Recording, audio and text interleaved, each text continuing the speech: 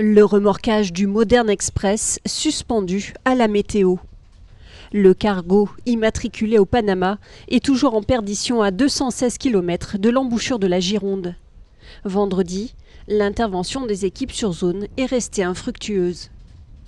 L'un des membres de la société néerlandaise Smith Salvage, mandaté par l'armateur, s'est même légèrement blessé. Il doit être prochainement évacué.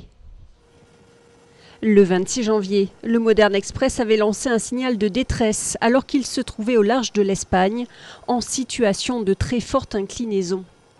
Les 22 membres d'équipage ont pu être élitreillés. Le navire qui devait décharger une cargaison de bois et de matériel de chantier au Havre dérive depuis en direction des côtes françaises. La préfecture maritime de l'Atlantique annonce pour ce samedi une météo en dégradation et une mer très forte avec des creux de 4 à 6 mètres.